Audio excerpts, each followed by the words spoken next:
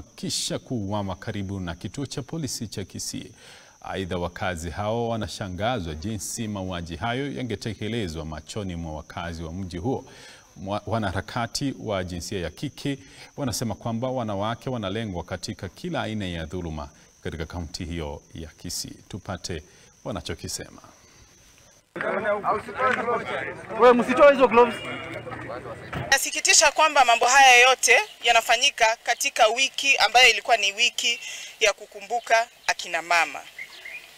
International Women's Day ilikuwa hii wiki, na pia inasikitisha kwamba tumekuwa na a series of cases around gender based violence, na ninataka kufanya wito kwa kila mtu kusema kwamba masuala ya wanawake si masuala ya wanawake peke yake, hata wanaume tuungane sote pamoja ili tufanye hii shughuli kwa umoja na iwe na matokeo tofauti. We are so sad with what is happening in Kisii. Tumefikia mahali unaamka asubuhi unaambia mtu wako amekufa na ujui ni nini kilimuua. A young girl was raped, killed na akaingiziwa machupa.